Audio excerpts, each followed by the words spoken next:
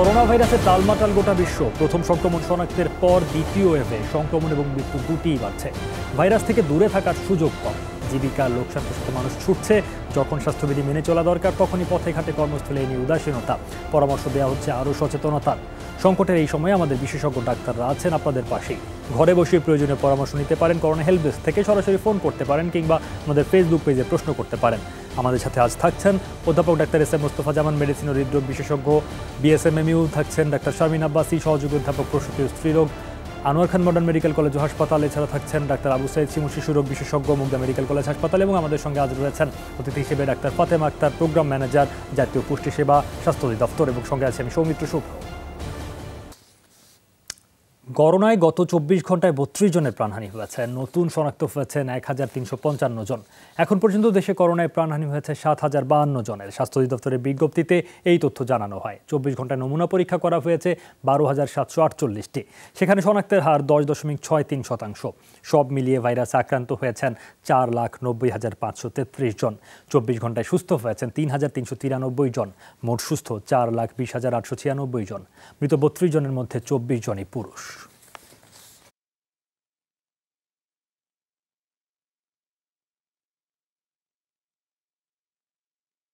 আমাদের আয়োজনটি আপনারা সরাসরি দেখতে পাচ্ছেন যমুনা টেলিভিশনে, ইউটিউব এবং ফেসবুক পেজে। আপনারা বিশেষজ্ঞ ডাক্তারকে সরাসরি আপনার সমস্যা নিয়ে প্রশ্ন করতে, ফোন করতে পারেন নয় আট দুই চার শূন্য পাঁচ দুই এই নম্বরে। এছাড়াও ফেসবুকে কমেন্টে আপনার প্রশ্নের উত্তর জানতে চাইতে পারেন। আমাদের সঙ্গে অতিথি হিসেবে রয়েছেন, বলছিলাম কিছুক্ষণ আগেই doctor Fatema Akter, program manager জাতীয় পুষ্টি সেবা। আর ডাক্তার ফাতেমা আক্তার করোনা হেল্পডেস্ককে স্বাগত জানাচ্ছি। পুষ্টি সেবা নিশ্চিত এমন একটা মহামারীর সময়ে, এইরকম একটা বিপর্যয়ের সময়ে এবং নানা রকম সংকটের সময়েও আপনারা কি ধরনের উদ্যোগ নিচ্ছেন? বিশেষ করে গর্ভবতী নারী বা শিশুদের ক্ষেত্রে একই সঙ্গে। সঠিক পুষ্টি নিশ্চিত করতে হলে কী কী করণীয় রয়েছে এবং সেইগুলোকে এই সময় আপনারা আইডেন্টিফাই বা অ্যাড্রেস করছেন কীভাবে? ধন্যবাদ একটা সময় উপযোগী প্রশ্ন করার জন্য। তো গর্ভবতী মাদেরকে জাতীয় পুষ্টি সেবা বরাবর অন্যান্য প্রোগ্রামের একটু বেশি জোর দিয়ে গর্ভবতী মারা খাবার খাবেন কোন খাবার খেলে তার গর্ভের শিশুটা ভালো থাকবে, সেদিকে নজর দিয়ে আসছে। যেহেতু একটু করোনা কাল, আমরা একটা দুর্যোগকালীন সময় পার করছি, এই জন্য জাতীয় পুষ্টি যেটা করেছে যে আরেকটু বেশি এমফেসিস দিয়ে বা আরেকটু বেশি জোর দিয়ে কীভাবে গর্ভবতী মাদের পুষ্টি মান আরও বাড়ানো যায়, কারণ আমরা সবাই জানি যে করোনার ভ্যাকসিন এখন আমাদের কাছে আসেনি। একটাই অস্ত্র সেটা হলো যে কীভাবে আমাদের রোগ প্রতিরোধ ক্ষমতা বাড়াতে পারি। তো গর্ভবতী মাদের রোগ প্রতিরোধ ক্ষমতা বাড়ানোর জন্য সরকার তো অনেক উদ্যোগ নিচ্ছেন কিন্তু আমরা জনস্বাস্থ্য পুষ্টি প্রতিষ্ঠান বা জাতীয় পুষ্টি সেবা থেকে যেটা করেছি, যে মাগুলো খেলে তার প্রতিরোধ ক্ষমতা বাড়বে। যেমন প্রতিদিন অন্তত উনি যেন একটা প্রোটিন জাতীয় খাবার, যেমন মাছ অথবা মাংস, কলিজা, ডিম যেন প্রতিদিন ওনার খাবারে থাকে, সেই সাথে আমাদের যত সিজনাল শাকসবজি আছে, এখন বাজারে প্রচুর শাকসবজি। পাওয়া যাচ্ছে। সেই শাকসবজিগুলো যে প্রসেসে রান্না করলে যে ওনারা, ওনাদের একদম ম্যাক্সিমাম পুষ্টিটা পান, সেই কথাগুলোও কিন্তু আমরা মাদেরকে জানানোর চেষ্টা করেছি। অনেক ব্রোশিওর বানিয়েছি, অনেক লিফলেট বানিয়েছি এবং অনেক মিডিয়াতে যে আমরা কীভাবে আমাদের মারা পুষ্টিমান ভালো রেখে ভালো খেতে পারবে। যেমন একটা কথা না বললেই নয় যে নর্মাল মায়ের চেয়ে গর্ভবতী মায়ের খাবার কিন্তু বেশি লাগবে। কি আমাদের দেশে আমরা এশিয়ান কালচার কি? আমাদের মারা সাধারণত তিনবার খাবার খান এই তিনবার খাবারের পাশাপাশি আমরা দুবার পুষ্টিকর নাস্তা। এটা পুষ্টিকর কেমন নাস্তা? এখন আমাদের সিজনে প্রচুর ফল পাওয়া যায়। যেমন পেয়ারা পাওয়া যাচ্ছে আমরা পাওয়া যায় জামরা পাওয়া যায়। ওই ফলগুলো ভিটামিন সি সমৃদ্ধ ফল। এই ফলগুলো যদি আমাদের মারা প্রতিদিন অল্প অল্প করেও খান তাহলে তার ইমিউন সিস্টেম অনেক স্ট্রং থাকবে রোগ প্রতিরোধ ক্ষমতা বাড়বে উনি তো ভালো থাকবেনই। সেই সাথে ওনার যে গর্ভস্থ শিশু সেও অনেক ভালো থাকবে। তো আমরা এই ধরনের আমরা যেমন আমাদের কমিউনিটি ক্লিনিক একদম শেষ যে আমাদের গ্রামটা সেই গ্রাম লেভেলে আমরা যেটা করেছি মাদার সাপোর্ট গ্রুপ মাদেরকে একটা এমন সাপোর্ট গ্রুপ তৈরি করেছি তাদেরকে এমন কিছু কিছু জিনিস শেখাচ্ছি যে কথাগুলো উনি গ্রামের অন্য মাদেরকে শেখাতে পারবেন। কি শেখাতে পারবেন? যে উনি যেন দুপুরে অবশ্যই কম করে হলে দু ঘণ্টা একটু বিশ্রাম নেন রাতে পর্যাপ্ত পরিমাণ কম করে হলে ছ ঘণ্টা যেন উনি ঘুমান বা ম্যাক্সিমাম যদি হয় আট ঘণ্টা হলে আরও ভালো। সেই সাথে যে খাবারগুলো খেলে মা ভালো থাকবে, শিশু ভালো থাকবেন। এই ধরনের প্রচার প্রচারণা চালাচ্ছি এবং সেই সাথে সাথে টিভিতে রেডিওতে আমাদের অনেক অনেকগুলো প্রোগ্রাম হচ্ছে। আমরা কি করি প্রতিদিন কিছু না কিছু মেসেজ আর আমরা সবসময় যেটা বিশ্বাস করি যে জনস্বাস্থ্য সেবা মাল্টি সেক্টরাল আমরা আমাদের স্বাস্থ্য মন্ত্রণালয় ছাড়া আরও বাইশটা মন্ত্রণালয় থেকে কাজ করি। এই এই পুষ্টি নিয়ে, বিশেষ করে গর্ভবতী মাদের নিয়ে। অর্থাৎ আপনার সার্বিকভাবে এই গর্ভবতী মায়েদের পুষ্টি নিশ্চিত করায় যেমন নিজেদের উদ্যোগ রয়েছে সচেতনতার জায়গাটা তো নজর দিচ্ছেন একজন দর্শক আমাদের সঙ্গে টেলিফোনে রয়েছেন। দর্শক আপনার নাম বলে টেলিভিশনের ভলিউমটি কমিয়ে প্রশ্ন করুন। আসসালামু আলাইকুম। জি আমরা শুনছি চিকিৎসকরা শুনছেন আপনাকে বলুন। আমি গত ন তারিখে ফোন করছিলাম আমার ওয়াইফের জন্য। আপনার নামটা একবার যদি বলেন আমার নাম হচ্ছে জাকারি আমি সাভার থেকে বলছিলাম। আচ্ছা। আমার ওয়াইফের জন্য ফোন করছিলাম, মোস্তফা স্যারের সাথে কথা বলছিলাম। ওই আমার ওয়াইফের থাইরয়েড অপারেশন করা ছিল। তারপরে থাইরয়েড অপারেশন করার পরে তার হাত পা আটকে গেছিল। এখন তার সমস্যাটা হচ্ছে যে তার মাথাটা শুধু ঘুরে যায় এবং মনে হয় সে মনে পড়ে যাবে পড়ে যাবে অবস্থা, এমন অবস্থা হচ্ছে। তাহলে আমি আজকে, কালকে আমি তিনটা টেস্ট করেছিলাম টিএসএস লেভেল সিরাম অ্যালবমি আর ক্যালসিয়ামটা টেস্ট করেছিলাম। আমার টিএসএস লেভেলটা আসছে ফাইভ পয়েন্ট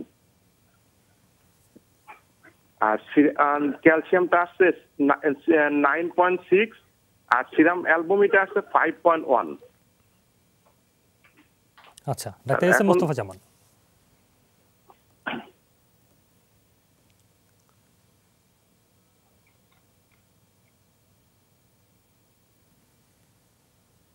সম্ভবত ডাক্তার এস এম মোস্তফা জামানের সঙ্গে আমাদের যে সংযোগ সেটি খানিকটা বিঘ্নিত হয়েছে। যা হোক জাকারিয়ার যে প্রশ্ন সেটি নিশ্চয়ই আমরা হ্যাঁ নিশ্চয়ই। শামিন আব্বাসি রয়েছেন থাইরয়েডের সমস্যার কথা বলছিলেন। চলে আসেন তাহলে হয়ে গেল। এখানে আসলে যেটি হয়েছে টিএসএইচ লেভেলটা আমাদের যিনি ফোন করেছেন তার ওয়াইফের ক্ষেত্রে টিএসএ মোস্তফা জামান মনে শুনতে পাচ্ছেন এখন। জি অধ্যাপক মোস্তফা জামান পাচ্ছেন মনে শুনতে। আচ্ছা শামিন আব্বাসি সেই সংযোগটি এখনও বিঘ্নিত। আপনি বলুন তারপর নিশ্চয়ই এস এম মোস্তফা জামানের কাছে আমরা যাবতীয় নিযুক্ত করবেন। আমার মনে হয় ওনাকে একটু দেখতে পাচ্ছি উনি মনে প্রশ্নটি শুনতে পেরেছেন জি। না আমি প্রশ্ন শুনতে পারিনি আসলে আমার আচ্ছা উনি 9 তারিখে ফোন করেছিলেন আপনার সঙ্গে কথা হয়েছিল তার ওয়াইফের হচ্ছে থাইরয়েডের অপারেশনও হয়েছিল। আজকে রিপোর্টগুলো জানিয়েছেন টিএসএইচ লেভেল 5 আছে ওনার আর অ্যালবুমিন লেভেল হ্যাঁ অ্যালবুমিন লেভেলটাও 5 আছে এবং ক্যালসিয়ামটা একটু কম আছে 8 এর কাছাকাছি আছে 8 9 এর কাছাকাছি। এখন কি করবেন জানতে চাচ্ছি। ক্যালসিয়ামটা ক্যালসিয়ামটা হ্যাঁ। আমার মনে হয় যে ঝামেলা হচ্ছে কানেকশনে আমি যেটা বলতে চাই সেটা হচ্ছে টিএসএইচ লেভেলটা যেহেতু ফাইভ এর মধ্যে আছে, এখন তাহলে যদি উনি থাইরক্সিন রিপ্লেসমেন্ট নেন, অর্থাৎ থাইরক্স বা থাইরিন জাতীয় কোনো ওষুধ খান, সেটা কন্টিনিউ করতে হবে। এখন উনি কোন ডোজে খাচ্ছেন দিস ইজ ভেরি ইম্পর্টেন্ট কারণ টিএসএইচ লেভেল পাঁচ আসার পর আসলে আমাদের টার্গেট থাকে সাড়ে তিন বা চারের মধ্যে এটিকে নিয়ে আসা, তাহলে রোগীরা ভালো থাকে। কারণ ফাইভ পয়েন্ট ওয়ান পর্যন্ত নর্মাল কিন্তু আমাদের মেয়েদের রেগুলার মিনিস্ট্রেশন মাথা না ঘোরানো এই জায়গাগুলোকে আমরা ঠিক করতে চাই। এক্ষেত্রে যখন পাঁচ চলে আসে, তখন কিন্তু পঁচিশ মাইক্রোগ্রাম এই ডোজটি খুব ভালো কাজ করবে ওনার ওয়াইফের জন্য। অর্থাৎ সেই জায়গাটিতে উনি চিন্তা করতে পারেন যে সেটি দিবেন কিনা বা ডোজ যদি বাড়তি থাকে, তাহলে কিন্তু এক্ষেত্রে মাথা ঘোরানোর মতো একটা ঘটনা ঘটতে পারে। সেকেন্ড হচ্ছে অ্যালবোবিন লেভেলটা অনেক কম আছে ওনার। অ্যালবোবিন লেভেল যেহেতু অনেক কম আছে, আপনাকে কিন্তু এখন ডিমের সাদা অংশ বেশি করে দিতে হবে আপনার ওয়াইফকে কারণ অ্যালবোবিন কম থাকলেও কিন্তু মাথা ঘোরানোর এই প্রবলেমটি হয়। আমাদের অ্যাচিভের অ্যালবুমিন লেভেল যত, তার থেকে অনেক কম আছে। সেক্ষেত্রে আপনি প্রোটিন জাতীয় খাবারগুলো ঠিক আছে, কিন্তু আমরা বেসিক্যালি বলেছি যেমন ডিম, ডিমের সাদা অংশ কুসুম ছাড়া আপনি প্রায় তিনটার মতো করে প্রতিদিন নিতে পারবেন। অর্থাৎ সেই জায়গাটা যদি নিশ্চিত হয়, তাহলেও কিন্তু ওনার জন্য কিছুটা ভালো হবে। আরেকটি যেটা ক্যালসিয়াম লেভেল কম, এটি বাংলাদেশের সব মেয়েদেরই দেখি ক্যালসিয়াম লেভেল করলে ক্যালসিয়াম অ্যান্ড ভিটামিন ডি কম। এখন ভিটামিন ডি যদি কম থাকে, তখন কিন্তু ক্যালসিয়াম অ্যাবজর্ভ হবে না।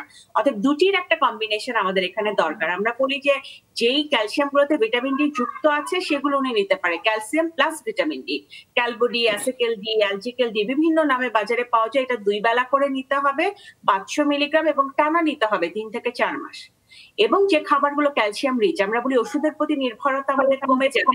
আমরা চেষ্টা করব যেটি, সেটি হচ্ছে যে খাবার দিয়ে এবং জীবন আচরণ করে এই জায়গাগুলোকে পূরণ করতে। সেক্ষেত্রে যে খাবারগুলো ডেইরি প্রোডাক্ট আছে, ছোট মাছ আছে, ক্যালসিয়াম যুক্ত যে খাবারগুলো আছে, সেগুলো যদি আমরা অনেক বেশি নেই তাহলেও কিন্তু সেই ঘাটতি পূরণ হবে। সকালের মিষ্টি রোদটি গায়ে লাগাবেন। আর ইনজেকশন ডি থ্রি বোন নামে একটা বাজারে পাওয়া যায়। এটা ভেঙে হাফ গ্লাস দুধের সাথে মিশিয়ে যদি প্রতি সপ্তাহে একটি করে খান টোটাল আটটি খেলে কিন্তু ভিটামিন ডির ঘাটতিটা অনেক অংশে পূরণ হয়ে যাবে। তো এই জায়গাগুলোতে যদি আমরা পূরণ করতে পারি, আমার মনে হয় যে কোনো সমস্যা হবে না। আরেকটি জায়গা যেটি, সেটা হচ্ছে মাথা ঘোরানোর অন্য কোনো কারণ আছে কিনা? কারণ ওনার তো সবই ডেফিসিয়েন্সি আমার ধারণা একটু দেখে নেওয়ার বিষয় আছে, উনি এনিমিক কিনা? কারণ অনেক সময় এনিমিয়াটা আমরা দেখতে পাই না রক্ত স্বল্পতা আমরা খেয়াল করি না, ওটার কারণেও হতে পারে। আর অতিরিক্ত যদি মাথা ঘুরায় আপনি এই ওষুধগুলোকে ট্যাপারিং করেন আর অ্যাটলিস্ট প্লাস ট্যাবলেট আপনি নিতে পারেন। তিন বেলা খাওয়ার আগে সাত দিন বা দশ দিন তাতে করে অ্যাকিউট ক্রাইসিসটা কাটতে পারে। আর অধ্যাপক মোস্তফা যেমন আমি জানি না যুক্ত হতে পেরেছেন কিনা তাহলে হয়তো আরেকটু ভালোভাবে যুক্ত করতে পারতেন যুক্ত আহ, কিন্তু আসলে প্রশ্নটি যেটা হচ্ছে তার থাইরয়েড লেভেলটি এখন কত বলেছেন? টিএইচএস লেভেলটি ফাইভ বলেছিলেন। পাঁচ। ফাইভ আহ, আর আগে তিনি একটু অপারেশন করেছিলেন তাই তো? টোটাল থাইরয়েডেক্টমি করেছিলেন। এখন জানতে চেয়েছেন কি আর সমস্যাটা কি হচ্ছে ওই পাঁচ আছে তো ওটা আসলে কি করবে? ডোজ বাড়াবে কি কমাবে? তো আমি বললাম যে পঁচিশ মাইক্রোগ্রাম করে হয়তো কন্টিনিউ করতে পারেন উনি হয়তো পারা যেতে পারে।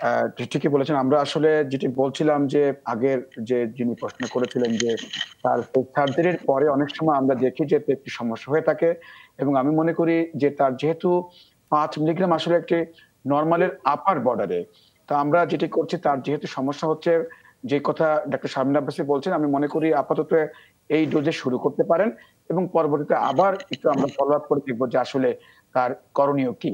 আপাতত যেভাবে বলা হয়েছে, আমি মনে করি যে এভাবে থাকুক এবং ফলো আপ আচ্ছা। ধন্যবাদ, ডাক্তার এস এম মোস্তফা। যেমন ডাক্তার শামিন আব্বাসীকে ধন্যবাদ, ডাক্তার আবু সৈদ শিমুল তানজিলা তোহরা, তিনি কমেন্টে লিখেছেন, তিনি এর আগেও আমাদের করোনা হেল্প ডেস্কে যুক্ত হয়েছিলেন তার বাচ্চার জন্য তিনি আপনাদের পরামর্শ নিয়েছিলেন। সাত মাস এবং জন্মগত এইচডি আছে, বাচ্চার বয়স সাত মাস। বাচ্চা পনেরো দিনের মতো সবুজ, তার পায়খানা সবুজ হচ্ছে, তিন চারবার করে প্রতিদিন পায়খানা টেস্ট করিয়েছেন, মিউকাস ওয়ান প্লাস আছে, কোনো ইনফেকশন নেই, ডাক্তার জিঙ্ক সিরাপ দিয়েছেন, সিপ্রোসিন টু ফিফটি, ফলিসন এই দুটো দিয়েছেন। আর অবস্থার কোনো উন্নতি হচ্ছে না এক্স রে করে উঠতে পারেননি এখন সেটি বলেছেন তিনি। তাহলে তার জন্য কি পরামর্শ থাকবে? পনেরো দিন ধরে পায়খানা এখন পর্যন্ত সেরে ওঠেনি। আসলে যে কোনো ইনফেকশন আপনাকে প্রথমে ধন্যবাদ প্রশ্ন করার জন্য। এতদিন ধরে তো আসলে ইনফেকশন থাকার কথা না। এতদিন ধরে যদি কোনো ইনফেকশন থাকে, তাহলে তো এমন জটিলতা হওয়ার কথা যে তাকে হাসপাতালে যেতে হবে বা খুব জটিল কোনো অবস্থা তৈরি হতে পারে। সুতরাং যেহেতু অনেক পনেরো দিন হয়ে গিয়েছে, বোঝা যাচ্ছে কোনো খাবার থেকে হচ্ছে, আমরা মায়েরা কিন্তু আমাদেরকে প্রায় সময় বলে থাকেন যে, কেউ বলে থাকেন যে একেবারে বিজল বিজল পায়খানা, এই ধরনের ভাষা আমরা প্রায় দেখে থাকি। মানে কেউ বলেন একটু লালচে পায়খানা, কেউ সবুজ। আসলে যদি বাচ্চা সবকিছু ঠিক থাকে যদি বাচ্চার বেড়ে ওঠা ঠিক থাকে, তার খাওয়া দাওয়া ঠিক থাকে, তার আচরণ সবকিছু ঠিক থাকে, আমরা বলব যে পায়খানার রং কেমন সেটা নিয়ে আসলে আপনি চিন্তা করবেন না। কারণ একটা ধারণা রয়েছে সবুজ পায়খানা হলে বোধহয় আমাশয় হয়ে থাকে, বা ডিসেন্ট্রি যেটা বলি সেটা কিন্তু আরও কিছু ক্রাইটেরিয়া রয়েছে। তার জ্বর থাকতে হবে এবং ডায়রিয়া যেটা বলি অন্তত পক্ষে তিনবারের বেশি এবং অনেক বেশি পরিমাণ। অল্প অল্প করে যদি এই সাত মাসের বাচ্চা একটু সবুজও হয় পায়খানা, যদি অন্য সবকিছু ঠিক থাকে, আমরা বলব এটা নিয়ে একদমই ভাববেন না। আপনি জিঙ্ক যেটা খাওয়াচ্ছিলেন, খাই- খাইয়ে যান। যদি কোনো ফর্মুলা মিল্ক খাইয়ে থাকেন, সেটা আসলে আপনাকে বন্ধ করতে হবে। এই ক্ষেত্রে যদি আপনি বুকের দুধটা একটু বারবার খাইয়ে যান এবং পুষ্টিকর খাবার খাওয়ান সেই জিনিসগুলো যদি আপনি মেনটেন করেন, দেখবেন যে আপনার বাচ্চা ঠিক হয়ে যাবে। বাচ্চার পায়খানার কালার কেমন সেটা আর আগামীকাল থেকে আর আপনার দেখার দরকার নেই। ডায়রিয়া যদি না থাকে পানি শূন্যতা যদি না থাকে, এ নিয়ে আপনি একদমই ভাববেন না। ধন্যবাদ, ডাক্তার আবু শিমুল। আমাদের সঙ্গে ডাক্তার ফাতেমা আক্তার রয়েছেন। ডাক্তার ফাতেমা আক্তার গর্ভবতী নারীদের পুষ্টি নিশ্চিত করার ব্যাপারে আপনাদের উদ্যোগ নিয়ে শুনছিলাম। দেখুন অপুষ্টি নানা রকমের জটিলতার জন্ম দেয়। সেটি একটি বাস্তবতা। গর্ভবতী মায়েদের রক্তশূন্যতা বা অ্যানিমিয়া একটা বড় সমস্যা বা এক অর্থে যদি বলতে সাধারণ সমস্যা। ডাক্তার শামিন আব্বাস এখানে রয়েছেন, তিনি ধরনের রোগী নিশ্চয়ই অনেক ফেস করেন। এই সমস্যাগুলো অর্থাৎ মানে সামগ্রিকভাবে এই সমস্যা কি মানে একেবারে একটা মার্জিনাল লেভেলে কমিয়ে আনা সম্ভব নয়? আরও বেশি সচেতনতা আরও বেশি কর্মসূচির মধ্য দিয়ে? হ্যাঁ অবশ্যই কর্মসূচির মাধ্যমে আমরা চেষ্টা করছি। আমরা আমাদের যত ট্রেনিং আছে যত মডিউল বলেন আমাদের যত লিফলেট বলেন আমরা যেটা করেছি রক্ত স্বল্পতা হ্যাঁ? স্বল্পতাটা আমরা কীভাবে কমাতে পারি? আমাদের দেশের মাদের বা আমাদের সাধারণ মানুষের কালচার হলো কি আমরা যখন একটা খাবার খাই এটা পুষ্টির মানদণ্ডে খাই না তৃপ্তির মানদণ্ডে খাই। এটা অর্থ হলো এটা যে আমার মুখে যদি স্বাদ লাগে তাই খাই তা না হলে খাই না। হ্যাঁ। যেমন আমরা বলি আমরা কিন্তু ইদানিং কাঁচা মরিচের কথা আমরা অন্তত করোনা এসে অনেক জেনেছি যে প্রচুর প্রচুর ভিটামিন সি থাকে, যেটা আমাদের জন্য খুব দরকার। কিন্তু আমরা কাঁচা মরিচটা কীভাবে খাচ্ছি? হয় সিদ্ধ করে খাচ্ছি, অথবা তরকারিতে এমন ভাবে দিচ্ছি রান্না করতে করতে এটার যে ভিটামিন সি, সেটা আর থাকছে না। এটাকে আমরা বলছি S B C C, social and behaviour change communication. মানে আমার বিহেভিয়ারটাকে চেঞ্জ করতে হবে। তাহলে আমাকে কি করতে হবে? কাঁচামরিচ আমি নর্মালি প্লেটে নিয়ে খেতে পারি বা এমন ভাবে দিতে পারি রান্নার শেষের দিকে, এইগুলো কিন্তু প্র্যাকটিসের ব্যাপার। যেমন দেখেন, আমরা ভর্তা খাই। আমরা যদি কাঁচা মরিচ দিয়ে খাই, আমি ভিটামিন সি পাবো। ভিটামিন সি আমার জন্য খুবই দরকার। কিন্তু আমরা কি করি, অনেক সময় শুকনো মরিচ দিয়ে খাই। কারণ আমি চাই আমার মুখে স্বাদ লাগুক। তো আমরা যেটা বলতে চাই সেটা হলো যে, আমাদের সাধারণ মানুষের বিহেভিয়ার চেঞ্জটা খুবই, খুব ইম্পর্টেন্ট জায়গা। এই জন্য আমরা চেষ্টাও করছি। আমরা আমাদের বড় একটা কম্পোনেন্ট জুড়ে অনেক অ্যাক্টিভিটি আছে। যেমন দেখেন, প্রতি রোববারে আমরা একটা বিটিভিতে প্রোগ্রাম করি। এটা আমাদের প্রায় অনেকগুলো, প্রায় পঞ্চাশের বেশি আমরা প্রোগ্রাম করেছি। যেখানে শুধু সাধারণ মানুষদেরকে জানানো যে, তুমি কি খাবার খেলে ভালো থাকবা? কি যদি এটা যদি না খাও, তাহলে তোমার কি ক্ষতি হবে? যেমন একটা কথা বলি, আমাদের মারা প্রচুর শাকসবজি হয়। আমরা পৃথিবীতে নাকি দ্বিতীয় স্থানে আছি শাকসবজি উৎপাদনে। কিন্তু আমরা পুষ্টির মানে কিন্তু সেই দিকে নাই। তাহলে কি বুঝতে হবে যে আমরা যে রান্না করে খাচ্ছি, আমাদের রান্নার প্রসেসের মধ্যে একটু অনেকখানি সমস্যা বা আমাদের জ্ঞানের ঘাটতি আছে। যেমন আমরা শাক যখন রান্না করি, আমরা কিন্তু এটা ট্রেনিং এ বলি বা আমাদের ম্যানুয়াল গুলোতে আমরা অনেকবারই বলার চেষ্টা করেছি। শাক অবশ্যই বড় বড় করে টুকরা করে প্রথমে ধুতে হবে। ধুয়ে বড় করে টুকরা করে পরিমাণ যতটুকু দরকার ততটুকু তেল দিয়ে ঢেকে রান্না করতে হবে। কিন্তু আমাদের সাধারণ মাদের ধারণা কি জানেন? আমি মাছ মাংসে বেশি করে তেল দিয়ে, অনেক চুপচুপা করে তেল দিয়ে রান্না করব শাকে কম তেল দিব। কিন্তু শাক হলো এমন একটা ভিটামিন এ ডি ই কি আমরা চারটা ভিটামিনকে বলি ফ্যাট সোলিবল মানে তাকে ভেতরে আমাদের হজম করার জন্য তেল দরকার। তাহলে শাকে বেশি তেল দিতে হবে, এগুলো কিন্তু আমাদের মাদেরকে বলার চেষ্টা করছি। আরেকটা জিনিস সেটা হলো যে আমাদের মাদের রক্ত স্বল্পতার একটা অন্যতম কারণ হলো আমাদের আয়রন ডেফিসিয়েন্সি বা আয়রনের ঘাটতি। কিন্তু অনেক স্টাডিতে এসছে এই আয়রন মারা খাচ্ছে কিন্তু অ্যাবজর্ব হচ্ছে না। তাহলে আমাদের কীভাবে আয়রন অ্যাবজর্পশন বাড়াতে পারি? আমরা বলি যখন একটা মা আয়রন সমৃদ্ধ খাবার খাবেন যেমন কচু শাক যে কোনো শাক এগুলোর মধ্যে কিন্তু আয়রন থাকে কলিজা। এটার সাথে ভিটামিন সি যদি আমি খাই তাহলে আমার আয়রন অ্যাবজর্পশন বেড়ে যায়। এটা একটা দিক। দু নম্বর দিক হলো যে আয়রন শুধু খেলে হবে না সেই সাথে যদি আমি প্রোটিন না খাই প্রোটিন মিস মাছ মাংস ডিম তাহলে কিন্তু আসলে হিমোগ্লোবিন যে জিনিসটাতে ফর্ম হয় হিম এবং গ্লোবিন যেটা প্রোটিন অংশ সেটা না হলে কিন্তু আমার রক্ত তৈরি হচ্ছে না এগুলো অনেক মানুষের জানার আছে আমরা চেষ্টা করছি কিন্তু আমরা চাই শুধু স্বাস্থ্য মন্ত্রণালয় না অন্যান্য যত মন্ত্রণালয় আছে যেমন আজকে আমরা একটা মিটিং করেছি শিক্ষা মন্ত্রণালয়ের সাথে হ্যাঁ। ওনারা ওনাদের বইগুলোতে কারিকুলামে কীভাবে স্টুডেন্টদেরকে টিচারদেরকে আমরা শেখাতে পারি যে আমাদের মারা ভালো থাকবে শিশুরা ভালো থাকবে এবং আপামর জনসাধারণ ভালো থাকবে? এখানে আমাদের খাদ্যের ঘাটতির চাইতে জানার ঘাটতিটা আমাদের অনেক বেশি। তাহলে আমাদের আমরা আজকে প্রোগ্রাম করছি অনেক মারা জানছেন সাধারণ মানুষ জানছেন এভাবে একদিন হয়তো ঢেউয়ের মতো করে সবাই জানবে এবং আমাদের মারা ভালো থাকবে। নিশ্চয়ই আমরা সেই শুভ, শুভকামনা রাখতে চাই, সেই প্রত্যাশা রাখতে চাই। আপনাকে অনেক ধন্যবাদ ডাক্তার ফাতেমা আক্তার আমাদেরকে সময় দেওয়ার জন্য করোনা হেল্প ডেস্কে। আর দর্শক, আপনারা সঙ্গে যুক্ত আছেন, নিশ্চয়ই আরও প্রশ্ন শুনব, আপনাদের সমস্যা শুনব, চিকিৎসকরা পরামর্শ দেবেন। তবে একটা বিরতিতে যাচ্ছে করোনা হেল্প ডেস্ক থেকে, একটু পরে ফিরে আসছি সাথে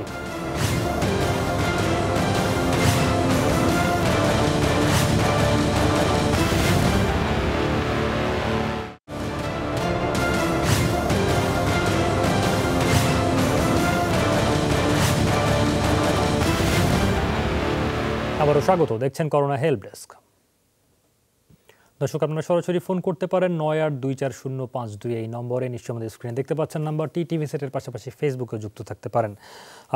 আমাদের কাছে একজন কমেন্টে ফেসবুক কমেন্টে লিখেছেন, আয়ান আহমেদ রিয়ান্তা রায়ান তার নাম। তিনি লিখেছেন তার বোনের বয়স চল্লিশ বছর, তিন মাস আগে ব্রেন স্ট্রোক করেছিল, বাম পা, বাম হাত অবশ হয়ে গিয়েছিল। ডাক্তার দেখানো হয়েছে, ডাক্তার তাকে ম্যাক্সোল্যাক্স ফাইভ নিউরেলেপ এইট হান্ড্রেড জায়োটিল টোয়েন্টি প্লাস কোডোপা ওয়ান টেন ডেনিক্সিল জিরো পয়েন্ট ফাইভ, নিউরাল পয়েন্ট ফাইভ দিয়েছিলেন। তিনি এগুলো গ্রহণ করছেন, কিন্তু এখনও তার হাত পা জ্বালাপোড়া করে, কোনো কিছু ধরতেই পারেন না, ভালোভাবে পা ফেলতে পারেন না, খেতে কষ্ট হয়। পরামর্শ দিলে উপকার হবে তার, লিখেছেন doctor S M Mostafa Zaman. ধন্যবাদ জানাচ্ছি যিনি প্রশ্ন করেছেন। আসলে কি, যিনি প্রশ্নটি করেছেন বেশ আমরা অবাকই লাগছে যে চল্লিশ বছর বয়সে তার বোনের স্ট্রোক হয়েছে। আসলে এবং একটি শরীরের বাম দিক অবশ্যই গেছে, হাত এবং পা। আমরা তার জন্য, আমরা সত্যি অবাক লাগছে যে এত কম বয়সে কেন স্ট্রোক হবে। বাংলাদেশ থেকে সারা বিশ্বব্যাপী স্ট্রোকের যে প্রধান দুটিতম কারণ, একটি উচ্চ রক্তচাপ, একটি ডায়াবেটিস এই দুটি সমস্যা আছে কিনা তিনি কিন্তু লেখেননি এবং এরকম কোন ওষুধ তিনি খাচ্ছেন না। এবং ডায়াবেটিস থাকলে হাত পা জ্বালা পরে কিন্তু ডায়াবেটিস থেকে হতে পারে। আরেকটি বিষয়, যেহেতু তার ইতিমধ্যে কিছুটা অবশ হয়েছেন, এটি ফিজিওথেরাপির মাধ্যমে ভালো করতে হয়। আর বাকি যে ওষুধগুলো খাচ্ছেন, এগুলো কিন্তু আমরা আসলে সরাসরি স্ট্রোকের জন্য আমরা এগুলো কিছুটা তাকে সাহায্য করতে পারে। যেমন তার ডেনেক্সিল একটু ঘুমের জন্য আমরা দিয়ে থাকি বা একটু রিল্যাক্স করার জন্য দিয়ে থাকি। নিউরোলেপ কিছুটা সাহায্য করবে। কিন্তু সিটি স্ক্যান করলে জানা যায় যে আসলে এটি কি ইস্কেমিক ধরনের স্ট্রোক নাকি আপনার হেমোরেজিক বা রক্তকরণ দু ধরনের স্ট্রোক হয়ে থাকে। একটি রক্ত জমাট বাঁধে যেটা আমাদের হার্ট অ্যাটাক হয়। সেরকম মস্তিষ্কে রক্তনালীতে রক্ত জমাট বেঁধে সেটাকে বলে আমরা ইস্কিমিক স্ট্রোক সেটি হয়ে, সেখানে আমরা ইকোস্প্রিন জাতীয় ওষুধ অবশ্যই দিই। আরেকটি হলো যেটি আমরা বলি রক্তক্ষরণ হয় মস্তিষ্কে বা হেমোরোজিক স্ট্রোক সেখানে আবার এই জাতীয় ওষুধ আমরা তাৎক্ষণিকভাবে দিই না। এটি দিলে আরও রক্ত বেশি ক্ষতি হয়, পাতলা হতে পারে। কিন্তু তিনি কিন্তু লিখেননি যে তার আসলে স্ট্রোকটি কোন ধরনের। সেটি জানতে পারলেও কিন্তু আমরা বলব আমাদের জন্য সুবিধা হতো। কিন্তু তার ডায়াগনোসিসটি আসলে আমরা যদি জানতে পারতাম সিটি স্ক্যান করা থাকতো, তার উচ্চ রক্তচাপ আছে কিনা, সে ধরনের কোনো ওষুধ খাচ্ছেন কিনা ডায়াবেটিস আছে কিনা সেটি মাত্রা কত সেজন্য কোনো ওষুধ খাচ্ছেন কিনা, সে ধরনের কোনো ওষুধ তিনি খাচ্ছেন না বা আমাদের জানাননি। আমি তাকে বলব আপাতত তার যে ওষুধ খাচ্ছেন সেটা খেতে পারেন, কিন্তু এই ওষুধের মাধ্যমে আসলে আমরা ঠিক স্ট্রোকে আমরা পুরোপুরি এই ধরনের ওষুধ ব্যবহার করি না নিশ্চয়ই তার সঙ্গে অন্য কোনো ওষুধ দিয়েছিল চিকিৎসক এবং তার রোগ নির্ণয় করেছিল। সেগুলো তিনি হয়তো পুরোপুরি আমাদের জানাননি। সেগুলো জানিয়ে আমাদের জানাবেন। আপাতত তার হাত পা জ্বালা পড়ার জন্য তিনি যে ওষুধগুলো খাচ্ছেন, সাময়িকভাবে তাকে এগুলোতে সাহায্য করতে পারে। কিন্তু এই ওষুধে পুরোপুরি তিনি উপকার পাবেন না। আমি বলব তাকে পুরোপুরি ইতিহাস জানাতে এবং রোগের সমসাক্ষাতে যদি একজন চিকিৎসকের পরামর্শ করেন, আরও ভালো। আরেকটি হলো ফিজিওথেরাপি হয়তো তিনি একজন ফিজিওথেরাপিস্ট দেখাবেন, তাকে যে হাত পা গুলো যে অবশ্য হয়েছেন, অঙ্গগুলো কীভাবে নাড়াচাড়া করবেন, একবার দেখে দেবেন পরিবারের সদস্যরা। সেটি নিয়মিত সকালে এবং রাতে দুবেলা তার জয়েন্টগুলো মুভমেন্ট করা, যেমন প্রত্যেকটা জয়েন্টগুলো এরকম করে মুভমেন্ট করে দেওয়া, হাতের যে ব্যায়ামগুলো আছে ব্যায়াম করতে বলা, একই রকম আমাদের যে ঘাড়ের যে ব্যায়ামগুলো আছে প্রত্যেকটি জয়েন্টের একই রকম পায়ের যে জয়েন্টগুলো আছে প্রত্যেকটি জয়েন্ট মুভমেন্ট করতে হবে এটাই ফিজিওথেরাপি এটি আসলে এবং শরীরকে এপাশ ওপাশ করে বদলে দেওয়া এবং আমরা বলব যে মুখের নাকের চোখের ব্লাডারের প্রত্যেক যত্ন নিতে হবে তাহলে কিন্তু আস্তে আস্তে তিনি সুস্থ হবেন। আমি তাকে যে পরামর্শগুলো দিব আপাতত ফিজিওথেরাপি করুন আর পূর্ণাঙ্গ ইতিহাস দিয়ে আমাদের সাথে আবার যোগাযোগ করবেন। ধন্যবাদ doctor S M Mostafa Zaman. Doctor Shamin Abbasi Manikul Islam নামে একজন লিখেছেন তার স্ত্রীর ব্যাপারে তার স্ত্রীর বয়স পঁচিশ তার প্রেগনেন্সি দু মাসের প্রথম প্রেগনেন্সি এটা লিখেছেন। ডাক্তার অ্যালিজেস্ট ট্যাবলেট প্রতিদিন তিনবার দু মাস খাওয়ার জন্য দিয়েছেন। জানতে চাইছেন এক্ষেত্রে ভ্রূণের কি কোনো ক্ষতি হবার সম্ভাবনা থাকে কিনা বা এটা কতটা নিরাপদ? গ্যাস্ট্রিকের সমস্যা আছে তার পেট ফাঁপা ভাবে, এক্ষেত্রে কোন ওষুধটি নিরাপদ হবে সেটি তিনি জানতে চেয়েছেন। মূলত ঔষধের পার্শ্ব প্রতিক্রিয়া নিয়ে তিনি একটু কনসার্ন সেটা বোঝা যাচ্ছে। না, দেখুন, আপনাদেরকে যখন কোনো চিকিৎসক কোনো ওষুধ দেন, সেটা কিন্তু রোগীর জন্য হান্ড্রেড পার্সেন্ট সেফ চিন্তা করেই আসলে একজন চিকিৎসক সেই ওষুধটি প্রেসক্রাইব করেন। এক্ষেত্রে কোনো ধরনের কনফিউশনের কোনো কারণ নেই। এবং আমরাও চিকিৎসক আমরা আসলে আরেকজন চিকিৎসকের ওষুধের যে অ্যানালাইসিসটি সেটি আসলে উনি যেভাবে করেছেন, আমার চিন্তা ভাবনা থেকে ওরকম ভাবেই আসলে অ্যানালাইসিসটি আসবে। এক্ষেত্রে আসলে এই ওষুধটি কেন দেওয়া হয়? এটি হচ্ছে এক ধরনের প্রজেস্টেরন ওষুধ। এটি দেওয়ার উদ্দেশ্যটাই থাকে যে আপনার প্রেগনেন্সিকে সাপোর্ট দেওয়া। অনেক সময় অনেকের ভ্যালুয়েবল প্রেগনেন্সি হয়, অনেক সময় আর্লি প্রেগনেন্সিতে কিছু ডিসচার্জ হয়, অনেক সময় আর্লি প্রেগনেন্সিতে তলপেটে ব্যথা হয়, অনেক সময় কিছু ব্লিডিং হয়। ওই জায়গাগুলোতে আসলে এই ধরনের প্রজেস্টেরন সাপোর্ট দেওয়া হয়। অতএব উনি যেটি নিচ্ছেন, এটি ফাইন এবং ঠিক আছে। এটি উনি চিকিৎসকের পরামর্শ পর্যন্ত উনি যতদিন কন্টিনিউ করতে বলেছেন নির্দ্বিধায় কন্টিনিউ করতে পারবেন। ধন্যবাদ ডাক্তার শামিন আব্বাসি একজন দর্শক টেলিফোনে রয়েছেন। দর্শক আপনার নাম বলে আপনার প্রশ্ন করুন। আমার নাম সাইদ মিরপুর এক থেকে বলছি আমি। জি বলুন। হ্যালো। আমরা আপনাকে শুনছি আপনি টেলিভিশনে ভলিউমটি কমিয়ে নেন খানিকটা ইকো পাচ্ছি সম্ভবত। আপনি টেলিভিশনে ভলিউমটি কমিয়ে বলুন ডাক্তার আপনাকে শুনছেন। মিরপুর এক থেকে বলছি সাইদ আমার বাচ্চার বয়স এক মাস। ও খাওয়ার পরেই নগদে বমি করে দেয়। মানে অনেকটাই বমি করে। আচ্ছা ও কোনো ফর্মুলা দিচ্ছেন কি না মায়ের দুধই খাচ্ছে? না না শুধু মায়ের বুকে দুধই খাচ্ছে। আচ্ছা ডাক্তার আবু সাইদ শিমুল রয়েছেন। আচ্ছা ও বমির পরিমাণটা কবে অনেক বেশি পরিমাণে বমি না অল্প করে একটু বমি করে?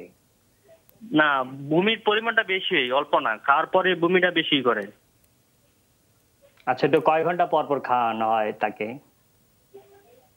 কয় ঘণ্টা পর পর খাওয়া হয় রে বর্তমান পরপরই খাওয়া হয়। দেখা গেছে যে সময় পারে ওই সময় খায় বাচ্চা বেশি বেশি খাইতেছে না আবার। সারাদিনে কতবার খাওয়ান? না বারো থেকে পনেরো সারাদিনে বার কতবারই করে এই তো পাঁচ সাত বাজার হইব। সারাদিনে। কিছুক্ষণ পর পর খাওয়ান কিছুক্ষণ পর পর খাওয়ান বললেন না তাহলে তো পনেরো বিশ বার হওয়ার কথা। না বাচ্চা খাইতেছে না আর কি চেষ্টা করে এভাবে খাইতেছে না। আচ্ছা আমরা উত্তরটা দিচ্ছি আমরা আমরা বুঝতে পেরেছি হ্যাঁ? সেটা হচ্ছে এই ধরনের সমস্যা বা অভিযোগ নিয়ে আমাদের কাছে আসেন। আমি যেহেতু এখানে সময় কম বলে আমরা পুরোপুরি ইতিহাসটা নিলাম না। যখন আমরা তাকে আসলে সামনাসামনি যখন জিজ্ঞেস করি চেম্বারে বা হাসপাতালে, কয় ঘণ্টা পর পর খাওয়ান? তারা বলে দুই ঘণ্টা পর পর খাওয়ান। দুই ঘণ্টা পর পর খাওয়ালে তারা দশ থেকে বারো বার আসলে খাওয়ানো হয় এই বয়সে। তখন পরবর্তীতে আমরা জিজ্ঞেস করি যে, কতবার বমি করে? তারা বলে, না, চব্বিশ ঘন্টায় তিন থেকে চারবার।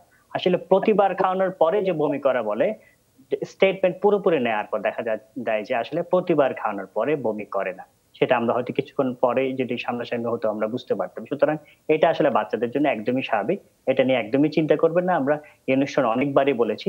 বুকের দুধ খাওয়ানোর সময় পজিশনটা একটু ঠিক রাখবেন যে পুরো কালো যে অংশ রয়েছে সেটা যেন পুরোপুরি মুখের ভেতরে থাকে, সেটা এবং বাইরের দিকের ঠোঁটটা যেন একটু এই নিচের ঠোঁটটা যেন বাইরের দিকে থাকে, সেটা খেয়াল করবেন। নাক যাতে আবার বন্ধ হয়ে না যায়। মায়ের মুখ এবং বাচ্চার চোখ যেন একেবারে সেদিকে একই সমান্তরালে থাকে। সেটা খেয়াল করবেন, আর প্রতিবার দুধ খাওয়ানোর পরে যদি একটা গ্যাস উঠান, যে বার্কিং করা বলে, কাঁধে নিয়ে একটু আট দশটা বাড়ি দিবেন। অনেক ক্ষেত্রে অনেক বাচ্চা হয় কি, খুব বেশি নাড়াচাড়া করতে গেলেও বমি করেছে যাদের ক্ষেত্রে এটা সমস্যা, তাদের আমরা বলি শুধু কাঁধে নিয়ে রাখবেন। এরপরেও অনেকের দেখা যায় যে এই ধরনের সমস্যা হতে পারে। তাদের ক্ষেত্রে আমরা শুধু অল্প সময়ের জন্য ওমিডন এই ড্রপটা আমরা জিরো পয়েন্ট ফাইভ এম করে তিনবার আমরা পনেরো থেকে বিশ দিন দিই। কিন্তু সারাদিনে তিনবার, চারবার বমি করাটা কিন্তু একদমই নর্মাল সেটা নিয়ে আসলে ভাববেন না। মায়ের খাওয়া দাওয়াতে কিন্তু অবশ্যই কোনো বিধিনিষেধ আরোপ করবেন না। মা ঠিক মতোই খাবে। কিন্তু আপনি যে একটা কথা বলেছেন কিছুক্ষণ পর পর খাওয়ান। বাচ্চা কান্না করার মানেই কিন্তু খিদে লাগে না। তার মশা কামড়ালেও কাম- কান্না করতে পারে, ঠান্ডা লাগলেও কান্না করতে পারে, গরম লাগলেও কান্না করতে পারে। অন্তত দুই ঘণ্টার গ্যাপ দিবেন। সুতরাং বারবার বারবার করে খাওয়ানোর কোনো প্রয়োজন নাই। অন্তত যদি দুই ঘণ্টা গ্যাপ দেন এবং শুয়ে না খাবান একটু বসে খাবান দেখা যায় যে এই সমস্যাটা আর থাকবে না। ধন্যবাদ, ডাক্তার আবু সাইদ শিমুল। দর্শক, আরেকটা বিরতির সময় হলো করোনা হেল্প ডেস্ক থেকে, একটু পরে ফিরে আসছি। সাথেই থাকুন।